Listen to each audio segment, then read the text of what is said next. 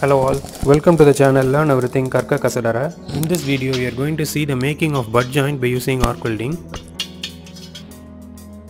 The first problem we face during arc welding is the sticking of electrode rod over the workpiece. If it sticks over the workpiece, you have to shake it in left and right direction and you have to pull it back.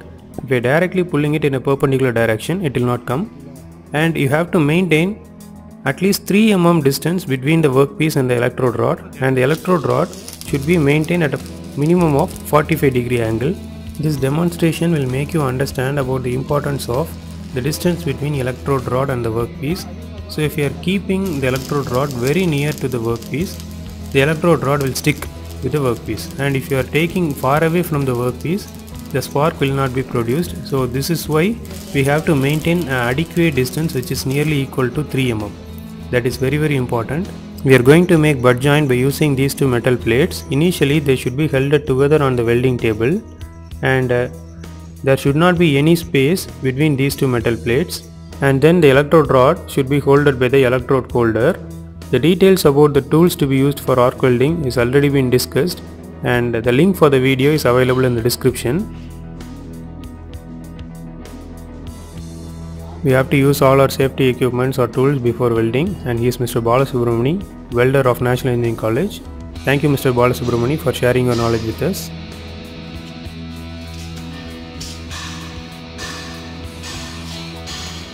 Now it's time to heat the electrode rod by making some small sparks. Once after heating the electrode rod, we have to make two dots over the workpiece. So this dots is very very essential to restrict the movement of the two metals.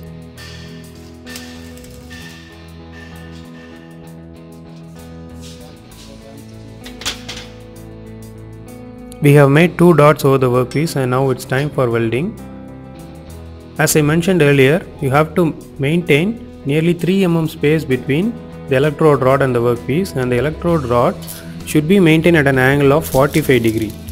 While welding, you have to move the electrode rod very gently because we are providing time for melting the electrode rod and the melted metal should fill over the workpiece. So if you are giving too much time there is a possibility of accumulation of the melted metal over the workpiece and if you are not providing enough time the welding will not be proper.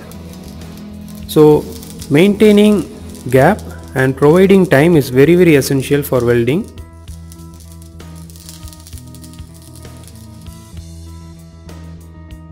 Welding is over and you can see red hot metal. Don't dare to touch the metals with bare hands.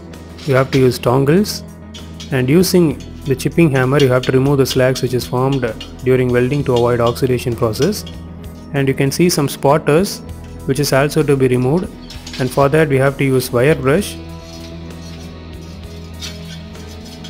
Once after the cleaning is over you can dip it in cold water to cool it down and this is all about arc welding. I hope you have got some information related to arc welding process. I'll meet you in the next video with new content. Thank you for watching.